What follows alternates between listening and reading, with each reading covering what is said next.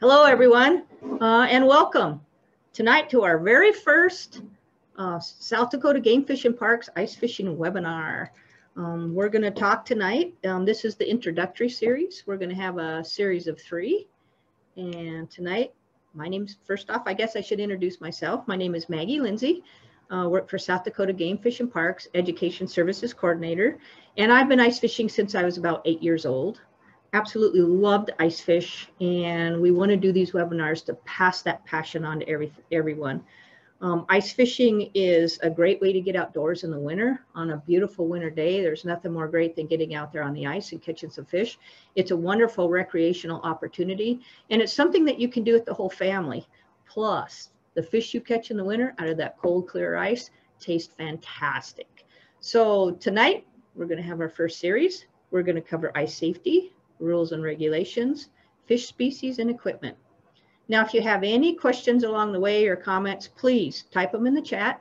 And at the end of this session, we're going to take some time to answer all your questions. So first off, I'm going to hand you off and show you a short video clip of our experts that helped with this presentation.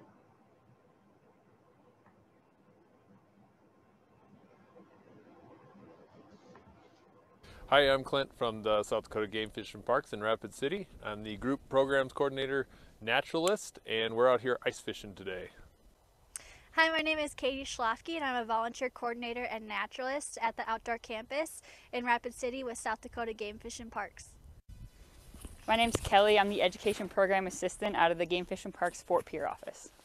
Hi, I'm Lori Root with Game Fish and Parks, and I am the Community Programs Coordinator out of Rapid City, and I'm also a naturalist. I'm Maggie Lindsay with South Dakota Game Fish and Parks, Education Services Coordinator out of Pierre, and we're going to teach you all about ice fishing today.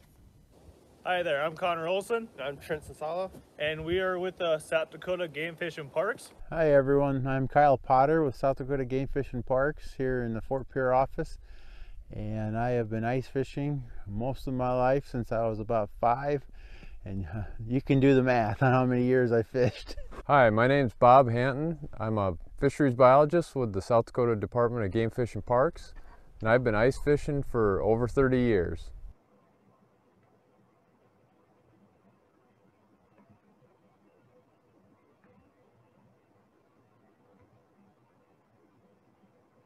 All right, these those were the experts that are going to help us with this webinar today. Now, the first thing that you need to know about is ice safety. Um, you can't go ice fishing unless the ice is safe. So we're going to once again turn it over to the experts and show you some tips on ice safety.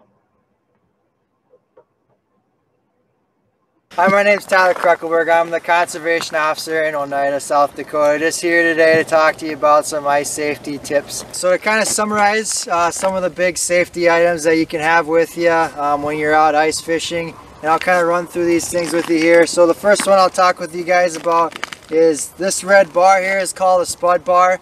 Um, a spud bar has got quite a bit of weight to it, but essentially what you're doing with this is you're taking it as you walk along the ice, you're just punching it into the ground the check ice thickness. Um, again, about two punches. If you can punch it twice in one spot, um, it's generally safe to walk on.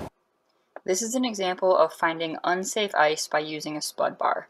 As you can see, he has that spud bar and he's jamming it into the ice. You're supposed to jam it twice in one spot, and some of those times he can't even get it once before it pokes all the way through the ice. This is 100% unsafe ice. But as I mentioned earlier, ice is never completely safe. Um, the other item you can have in the event that you did ever fall through, um, having ice picks with you can be really important.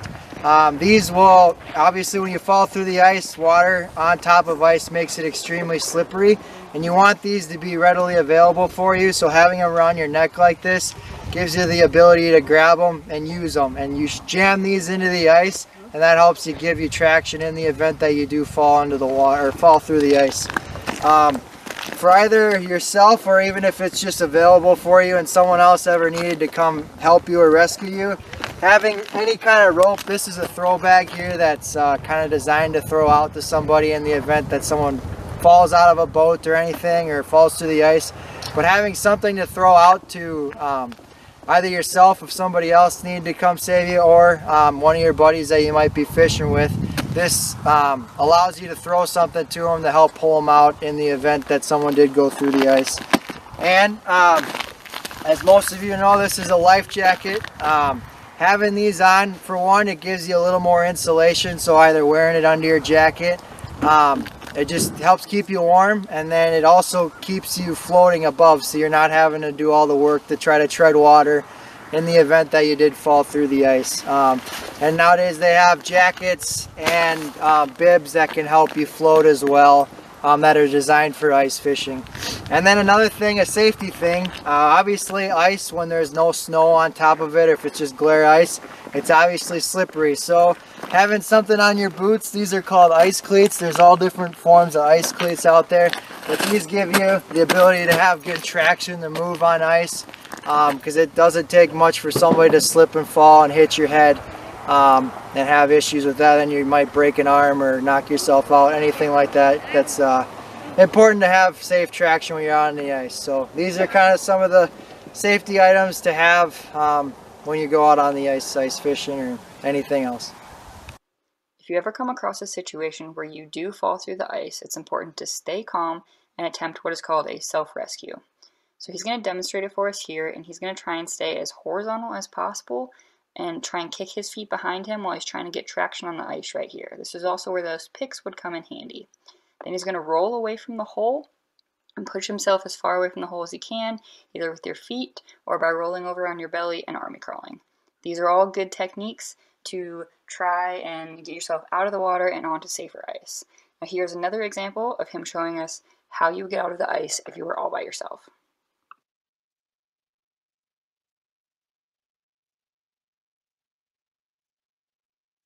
Now here's another technique he's showing us. So if you're on really weak ice, there's a possibility that you can bust through the ice and get to stronger ice. This one looks a little funny because he's busting away from shore, but he's just doing this for demonstration purposes for us.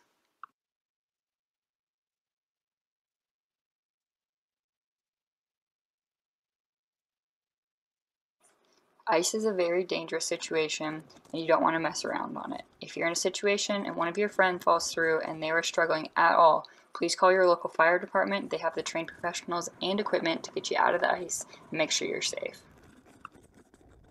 Hello everyone, my name is Kyle Potter. I work for South Dakota Game Fish and Parks. I work in the world of fisheries in the, in the great state of South Dakota. And the other things I, I enjoy doing is not only hunting, I also enjoy ice fishing. And with ice fishing, number one priority is to keep your head above water and keep safe. Be sure you stay above the ice line is the most important tool. Um, some important things to keep in mind, not all ice is safe. There is a lot of bad ice out there and every year is different.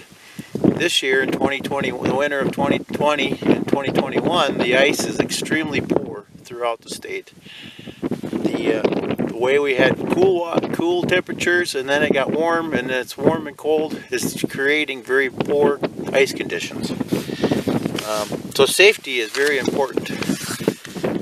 Um, again, another thing to keep in mind, clean, clear ice is the safest and most stable ice there is. Once you start to get ice that's colored like this, that is kind of a milky, milky color, that ice integrity is not 100% there. It cannot support a lot, a lot of weight unless it's extremely thick. So make sure, again, clean, clear, new ice is the, new, is, is the best. Uh, stay away, stay away from bridge areas where there's current. Stay away from river stretches that have hard current areas and bends and things like that. Stay away from points that come out into the lake. Uh, the water will run around the, the points and create shallow ice areas in those areas. Another one to keep in mind, and very important, especially this year, is pressure ridges. So as ice forms and grows, it expands. And when it expands, it forms these what's called pressure ridges. And they can be anywhere in the middle or the shoreline of the lakes, and you'll have mounds of ice.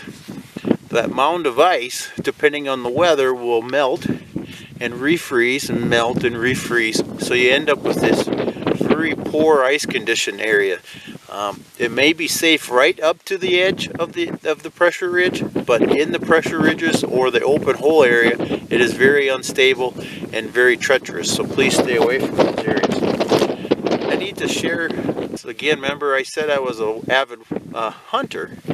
Um, one year in January here in the Pierre area where I live currently, I went on a goose hunt when we were trying to retrieve a couple geese that were down in the river. My dog decided to go um, on his own will across the ice and plunge into the open water to get these geese. Um, I thought I knew what I was doing at the time. Again, everyone wants to save their dog. This is not the time to be doing it.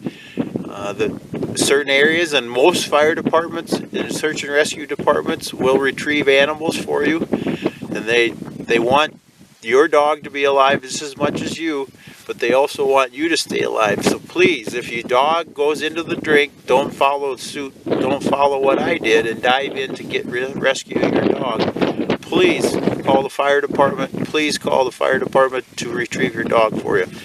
But needless to say if it wasn't for the help of my neighbor and two area hunters that happened to be just luckily to be there and then the, the rescue squad as well. I was in the water for over 40 minutes and I had hypothermia for quite a while and I survived and I am very blessed to be here talking to you today.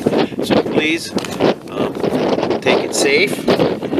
Please continue to check ice as you continue to go out all ice is not the same as I said before and please continue to to be slow as you go out on, onto a new body of water and and ask people in the area where there is bad ice where there is pressure ridges. You need to need to trust other people but you also need to be adamant and careful for yourself. These were a few basic tips and tricks on ice safety. If you're cautious and you're careful about what you're doing, there's no reason that you can't go out and have a safe, fun ice fishing experience.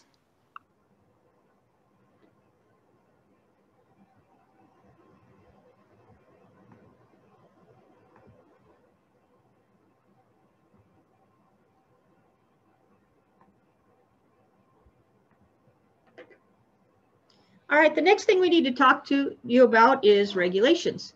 First off, before you go out, you're going to need to buy a fishing license.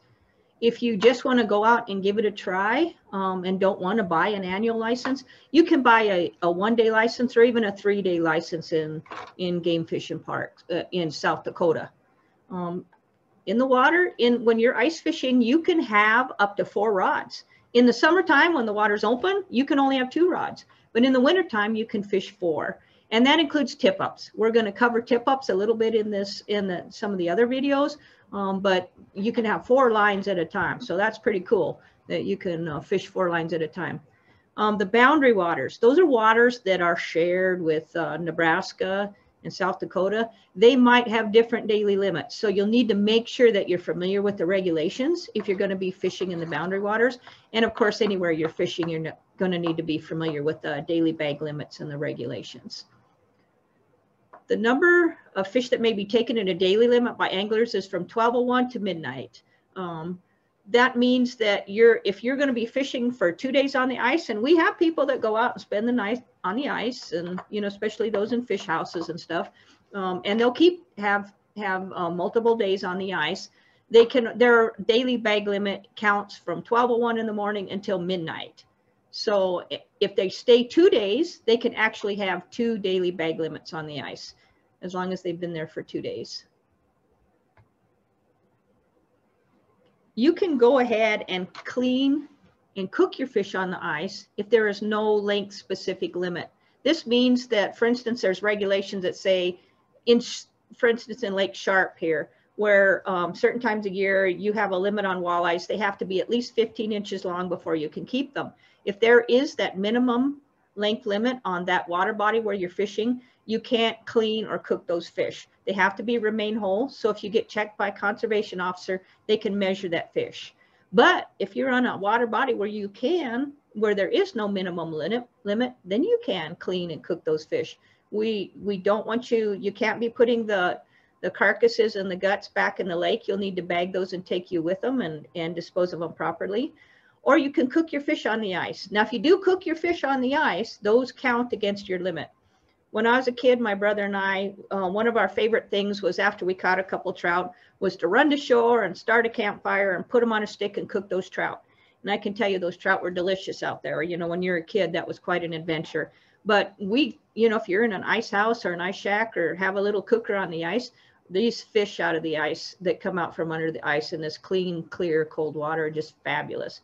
But if you eat, if the limit, if you have six fish and you eat two of your fish, well, those two fish you ate still count against your limit. So just because you eat your fish on the ice that day doesn't mean they don't count against your limit.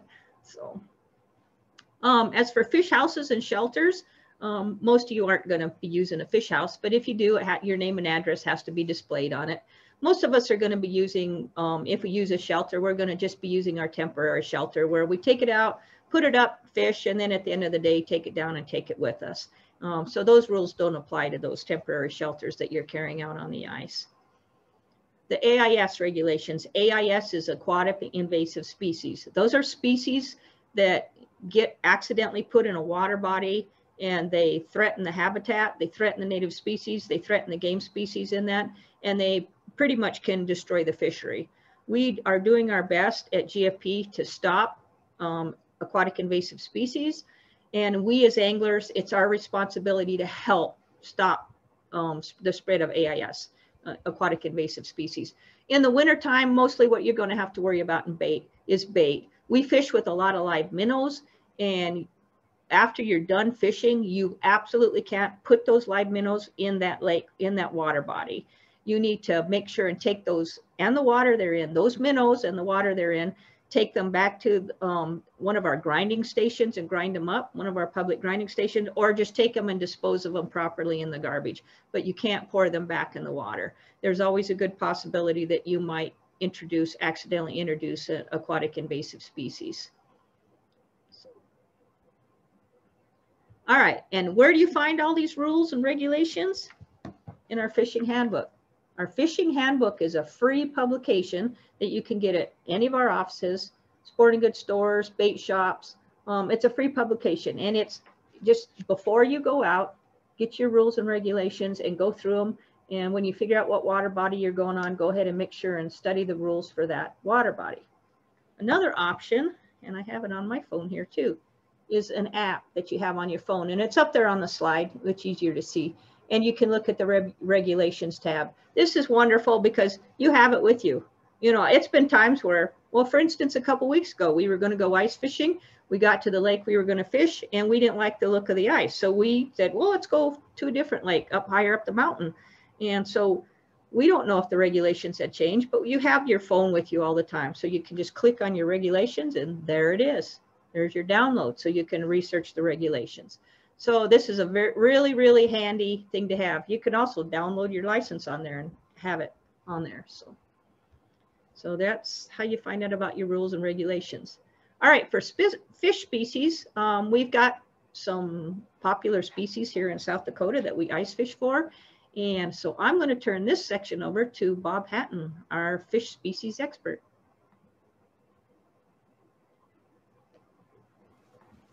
Hi, this is Bob Hanton. I'm a fisheries biologist with the South Dakota Game Fish and Parks.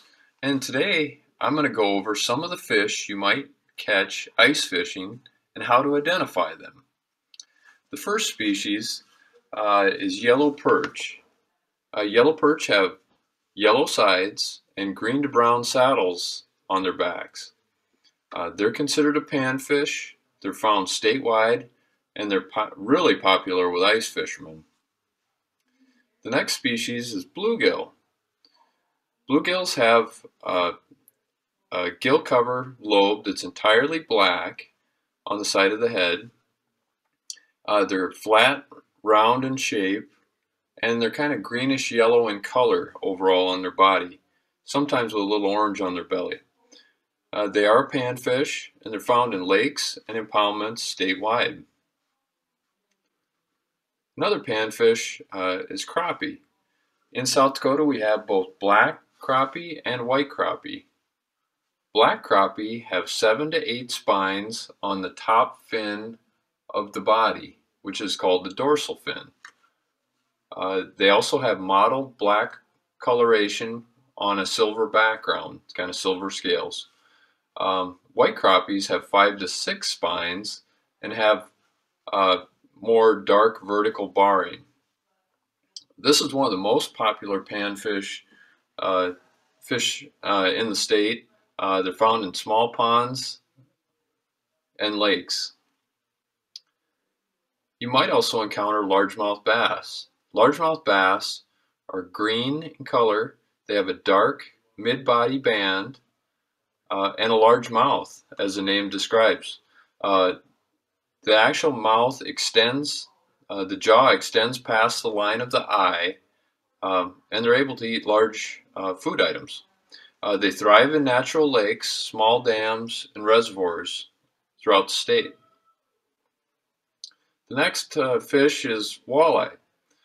Uh, walleye is uh, in color greenish yellow back. They have a white belly and a large glossy eye and sharp teeth in the mouth. Uh, they're found statewide, lakes, reservoirs, and rivers. They're a highly prized sport fish, and they're the state fish of South Dakota. You might also encounter northern pike. They're long and body shape. Uh, they have light spots on a dark background, and they have a mouth full of teeth. Uh, they're common statewide in a variety of habitats, uh, lakes, and can be found in lakes, rivers, and ponds. Rainbow trout is another fish you might encounter. Uh, they're light colored body with dark spots. Uh, the tail's not deeply forked. And some of them have a, a pink stripe down the middle of the body or a light pink stripe. They're not native to South Dakota, but they're They've been stocked in streams and lakes throughout the Black Hills, urban fisheries, and sometimes found on the Missouri River. The next fish is channel catfish. They have a white belly, dark gray or black back, and a deeply forked tail, and dark whiskers. Uh, they are native to the Missouri River drainage, but have been stocked in other reservoirs and natural lakes in the state. These are some of the fish you might catch ice fishing, so get outside and give it a try.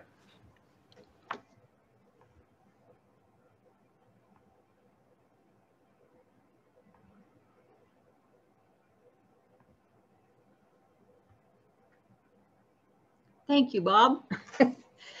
now we're going to talk to you about equipment. Um, you don't have to get crazy expensive on equipment. It's relatively inexpensive to get into ice fishing. Um, so we just kind of got put together a list, had our experts put together a list of basic icing ice fishing equipment that you'll probably want to have.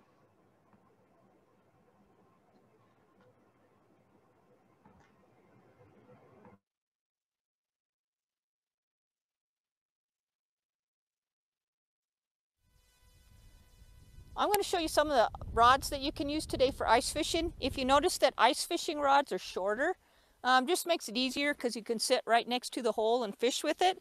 Um, but you don't have to get fancy with an ice fishing rod. This is pretty simple one here. It's a simple wooden handle with a little simple line winder. This is great for shallower water, smaller fish like panfish, and for kids because they don't have to deal with a reel. So it makes it quite simple. All they have to do is wrap the line. Very simple little rod and you'll catch just as many fish on this as you will a, an expensive rod. The next one, pretty another one that's pretty reasonably priced. Just has a simple little, sort of like a level line reel that just wraps the line. Got a little uh, nut here that just tighten it down, loosen it up, and you can reel it. Once again, great for kids that are just learning, great for beginners, and extremely reasonably priced. Um, once again, it'll catch just as many as the expensive ones. This one's just a little different. It's a more like a level wind reel. Um, just a little more step up from the other one. It actually has, some of them have a drag on them. This one's pretty simple. It doesn't have a drag, real simple, just a little turn. And you're, you're lowering the line down and just bringing it back up.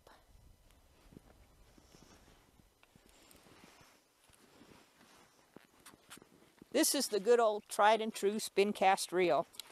We all fished these when we were kids.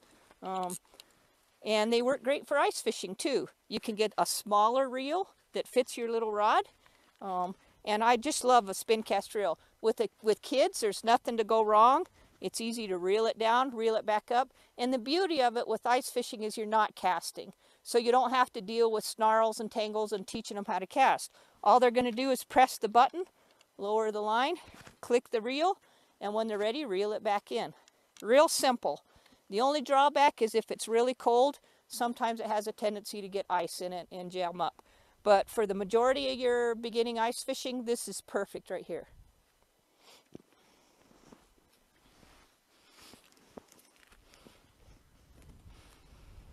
Okay, this is a spinning reel. A lot of you more experienced fishermen are, are experienced with the spinning reel.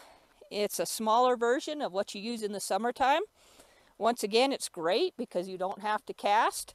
But for you that like your spinning reels, this is perfect. Um, this is great for if it's colder.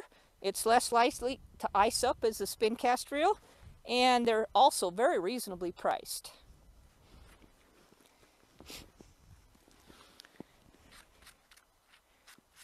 Covered with snow. This is kind of one of the newest versions of ice fishing if you want to spend, you know, 50 $60 on a reel. It's called a, um, a free fall reel. I had to kind of look because it's new. Um, and it's just very simple. You just push this little button, it free falls, and then just has a big reel. You just reel it back in. It has a drag, so you can set the drag. And the advantage of this is going to be when you're fishing deeper water or when you're fishing maybe larger fish like walleye, catching bigger walleye. Um, but it'll also work for your little panfish. So um, you can spend as much or as little as you want. But what we're just trying to stress is you don't have to go crazy spending a lot of money to get into ice fishing.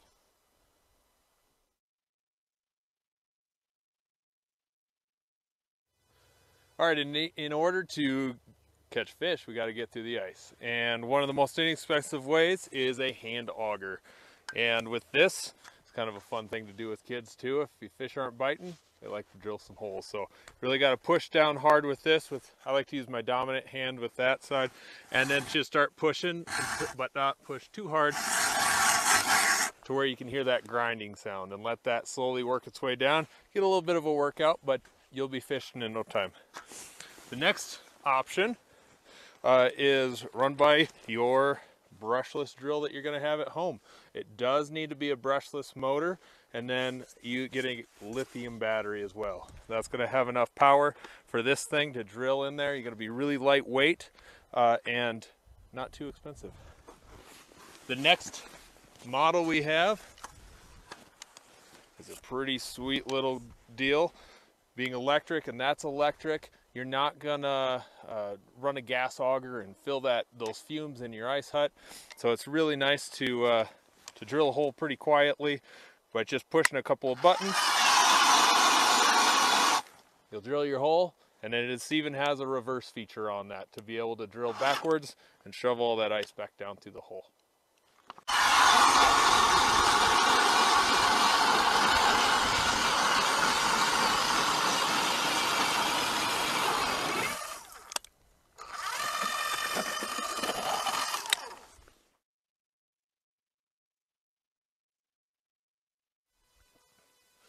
All right, another way to get a lot more lines out, cover a lot more water is tip ups. And this first style just sits on either side of the hole, has a little reel right here that turns this little T at the top. And as that turns, flag goes up, indicating you have a fish. This one's exactly the same. It just has a little circular uh, top to it that covers the, the ice hole so that it doesn't freeze up as easy. Same thing, flag goes up, indicate you got a fish, run over there and reel it on in.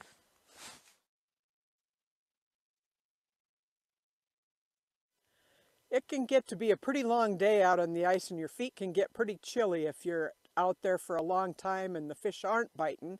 So it's pretty nice to have something to sit on. And especially if you're fishing with old people or little kids or people in between those two ages.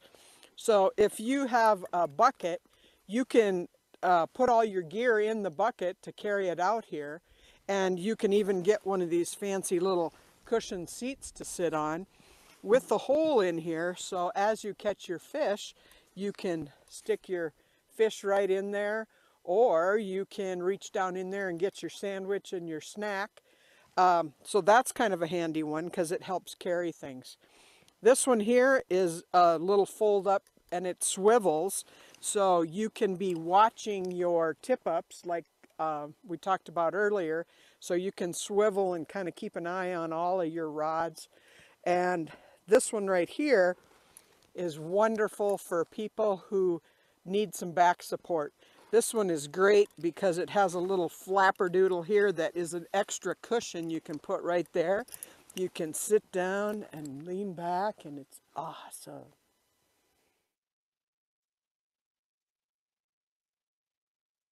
All right, one of the most important tools you can have on the ice is this shovel. It's going to come in handy quite a bit, especially if you get stuck later on getting out, and that happens. But this shovel I'm using uh, here for removing the ice around the hole. If we leave it like this, that ice is just going to keep falling into the hole.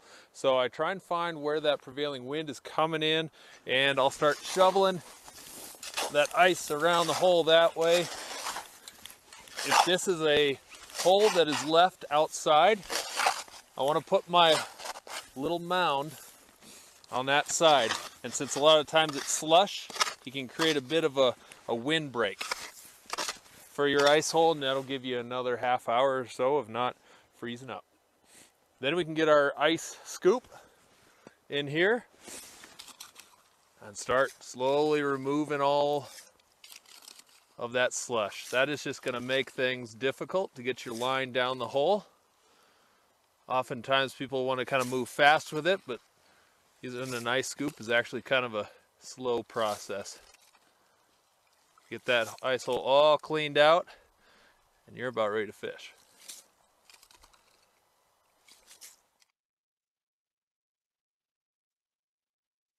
So I'll show you a little bit of ice fishing tackle, just kind of the basic ice fishing tackle that we're using today. Um, we like to fish with bobbers, so these little slip ice fishing bobbers are really nice. You're going to need bobber stops to go with them, but they're nice and the foam helps keep, keep them from getting too iced up. You can also use a regular clip-on bobber if you wish. And then here's those bobber stops I was telling you about. We're fishing mostly panfish today, perch today, and a few trout. So these little ice fishing jigs that you can pick up, um, you don't have to buy fancy ones. Some of them are pretty small. It kind of depends. You need to figure out what you're targeting. If you're targeting blue bluegills or smaller panfish like these perch, then you're going to want something like this that's quite small with a small hook. Uh, and then what you're going to do is put the jig on the line and you're going to put a little piece of bait on that. If you're going for something larger, like today we're fishing for trout, we're trying also for trout, a little jig like this is nice. It's weighted um, it's flashy colors. And then we'll put a minnow or a minnow head on that and jig it up and down and try to fish it just right off the bottom. So a little simple fishing jig like this. You can also just go, um, we get these at Walmart. And I got a whole bundle of them here, but these just small, simple fishing jigs, just to give it a little weight to get it down to the bottom. But you do have to put some kind of bait on the hook to attract the fish. If you're fishing bigger fish like walleye, deeper in the lake, then of course you're going to want a deeper, a heavier, larger weighted uh, jig like that. And you're going to once again put bait on that. And then you can't go wrong, of course, with the plain hook. If you're fishing some kind of bait like minnows, a plain hook with weight, you're still going to need some weight. So just good old simple split shot will work just perfect. So this is kind of a hodgepodge of fishing equipment.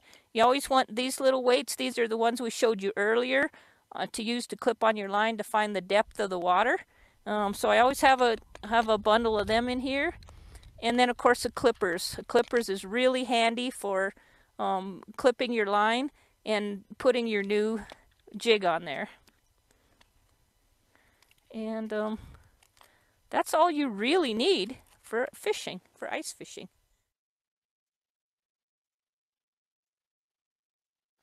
Uh, for bait, the best thing to do is to, to go to your local bait shop, chat with them. Uh, oftentimes you'll find uh, fishing reports online. Uh, social media groups will post those sorts of things too.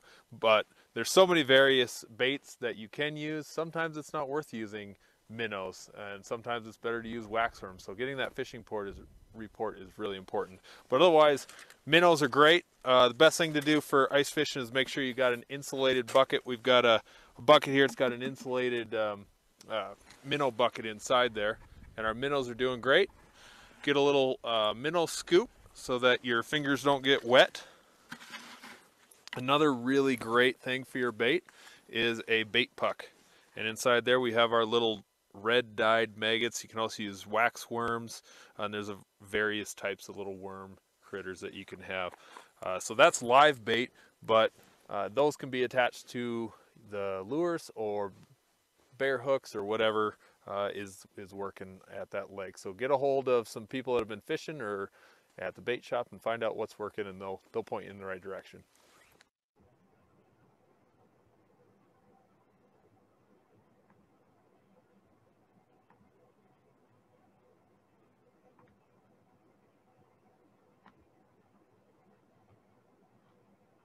All right, that kind of covers what we're uh, talking about tonight.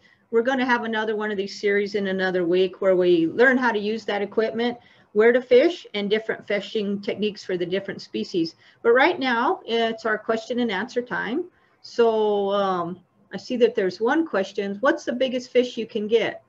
Well, that just kind of depends what water body you're in and what you're fishing for. Um, you notice that pike. I don't know how large that pike was in that one photograph, but um, you could get quite large pike here.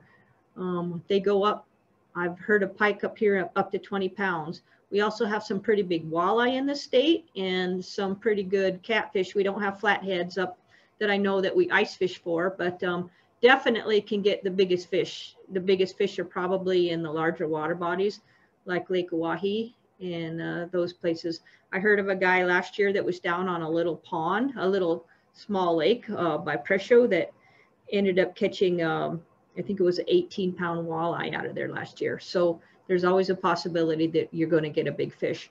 On the eastern side of South Dakota, where they're kind of famous for their, we call them slab panfish, for the large perch and stuff. And um, earlier this year, under on the ice, there was a perch bite. We hear the perch bites on, and it was the large perch they were catching. Um, and a large perch is, you know, like this. It's not like those big walleye and stuff, but um, definitely can get some big fish through the ice. Um, I've heard stories too about people that used a small ice hole and caught fish so big they could barely get them through the ice. So, yep. So you can catch some big fish in this state. Anyone else have some other questions? Comments? This was our first one, guys, so we want to know how we did. so, uh, kind of watch for a minute. All right. Well, thank you very, very much for watching and feel free to ask more questions if you want. Um, you can always email us um, and or get on our webpage and ask these questions, get hold of me. So until next time, as Red Green says, keep your rod on the ice. Thank you.